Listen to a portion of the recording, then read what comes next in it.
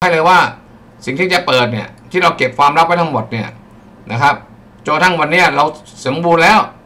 เรารู้แล้วว่าใครฆ่า เรารู้แล้วฆ่าแบบไหน ใครเป็นคนฆ่า ใครเป็นคนจับขาน้องแตงโมให้กรีดให้เอามีดกรีดขา อันนี้เราทราบหมดแล้วนะครับพี่น้องประชาชนคนในประเทศ ใครเป็นคนถ่ายรูป ใครเป็นคนนะทำยังไงเนี่ยเรารู้หมดแล้วนะเอาว่าตกตรงไหนจุดไหน ผมบอกวันนี้อาจารย์ใหญ่ว่าให้เตรียม สภาพกำลังให้พร้อมของกู้ภัยนักประดาน้ำเดี๋ยวเราจะไปดำน้ำอีกรอบหนึ่งนะครับ ไปดำน้ำอีกรอบหนึ่งนะตรงของจริงที่ตามคลิปวิดีโอที่เราได้รับมา ในเวลาที่ 22นาฬิกาไม่เกิน 10 นาทีนะครับ ผมไม่แปลกใจนะครับว่าที่เจ้าของอู่ NBC เนี่ยได้รับโทรศัพท์ตอน4ทุ่ม20นะครับในรายการหนกระแสเนี่ย ผมว่าตรงนี้มาเป็นประเด็นอยู่แล้วว่าทำไม ทำไมถึงตำรวจบอกว่า4ทุ่ม34.10แต่ทำไมทางเจ้าของอู่ NBC เนี่ยถึงได้รับโทรศัพท์จากคนบนเรือ4ทุ่ม20คุณรู้ก่อนล่วงหน้าได้ไงตั้ง10วันนาที เกือบ15-16นาที อันนี้ก็เป็นข้อพิรุธที่เรานั่งดูมาโดยตลอดไทม์ไลน์นะครับ อย่าคิดว่าคนอย่างอัจฉริยะกับทีมงานเป็นคนโง่ พวกเราทั้งหมดคือมืออาชีพระดับประเทศอยู่แล้ว มันนั้นไม่ได้ชื่อโคนันเมืองไทยง่ายๆหรอกครับ เราทำงานตั้งแต่ครูจอมทรัพย์มา หัวน็อตหัวเดียว เรายังไปชิดครูจอมทรัพย์ได้เลยว่า หัวน็อตเนี่ยรูน็อตรูเดียวเนี่ยอัจฉริยะยังจับคดีครูจอมทรัพย์ว่าเป็นแกะได้เลยนะครับ ไม่ใช่แพะนะครับ แล้วนับภาษาอะไรกับคดีน้องแตงโมนะครับที่นะมีการทำอะไรเกิดขึ้นเนี่ยนะครับทำไมเราจะเจาะไม่ได้นะครับ อย่าลืมนะครับ เราทำงานเนี่ยอยู่เบื้องหลังมาเยอะหลายๆคดีในการช่วยเหลือประเทศชาติ และทำเพื่อแผ่นดินมาโดยตลอดนะคดีนี้ เราเห็นอยู่แล้วว่า เจ้าของอู่ NBC เนี่ย ออกรายการโหนกระแสกับพี่หนุ่มกัญชัยกำเนิดพลอย ได้รับโทรศัพท์ตอนสี่ทุ่มยี่สิบและเหตุไฉนทำไมหมาตาเนี่ยนะครับ ถึงบอกว่าเวลาตก 22นาฬิกา4ทุ่ม34.10 เราไปดำน้ำเราก็รู้แล้วว่าไม่ใช่นะครับนะถ่ายรูปใต้น้ำมาแล้วก็ไม่ใช่ เราก็รู้อยู่แล้ว อันนี้คือความพลาดความผิดพลาดของหมาตา ที่เขาคิดว่าเขาฉลาด การใช้ Photoshop ในการตัดต่อคลิปวิดีโอ ในการแหกตาคนทั้งโลกด้วย Google Map นะครับ จริงๆ ผมทราบว่าเอามาจากไหนอยู่แล้วนะครับ ไม่ใช่ว่าอยู่ๆเนี่ย คุณจะเอาภาพบาดแผลแล้วมาเข้าเคิร์ฟว่าบาดแผลขาข้างขวาด้านในเนี่ย เกิดจากใบพัดเรือ ตามที่มีหมอคนสวยเนี่ยนะครับ ไปจำลองเหตุการณ์แล้วบอกว่าเข้าได้กับใบพัดเรือ ดังนั้นกระบวนการเหล่านี้จึงจะต้องถูกดำเนินคดีการกาวรูด แล้วก็เป็นทำลาย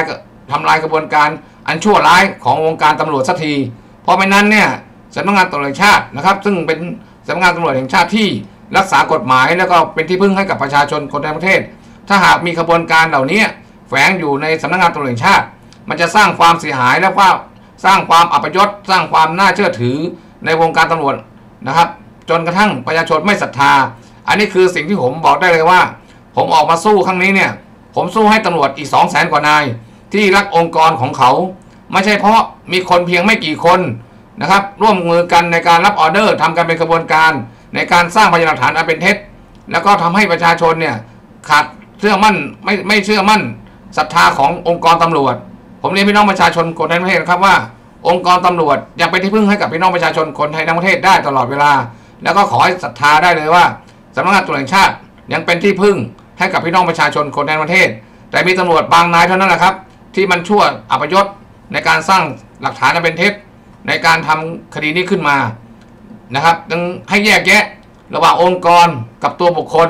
เรื่องนี้เป็นเรื่องของตัวบุคคล ไม่ใช่เกี่ยวกับองค์กรนะครับ ทุกหน่วยงานนะครับย่อมมีคนดีคนชั่ว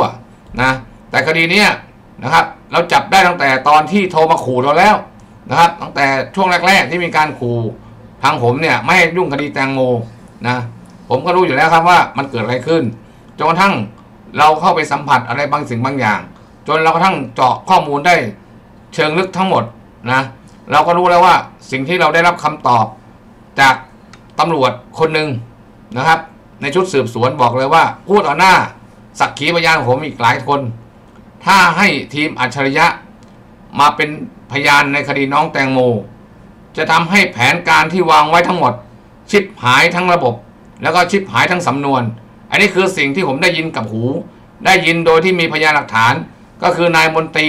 นะครับ อยู่ในเหตุการณ์ แล้วก็มีลูกน้องของผมอีกหลายคนอยู่ในเหตุการณ์ ได้ยินกันชัดเจน ซึ่งมันทำให้เราต้องออกมาชน ออกมาสู้ สู้เพื่อทวงความยุติธรรมให้กับน้องแตงโม ให้กับคนไทยทั้งประเทศ ที่มีตำรวจอัปยศไม่กี่คน ในการทำลายองค์กรของสำนักงานตำรวจแห่งชาตินะครับ แล้วก็มีหน่วยงานบางหน่วยงานของ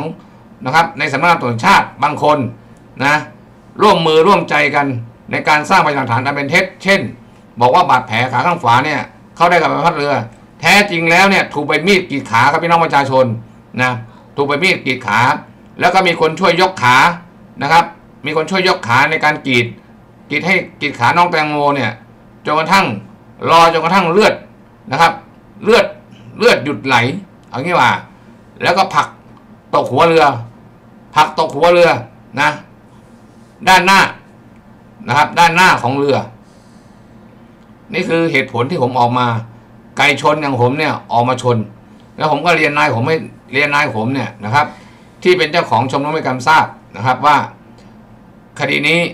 ใกล้จะเด็ดปีกอินทรีย์ได้แล้ว ก็เรียนให้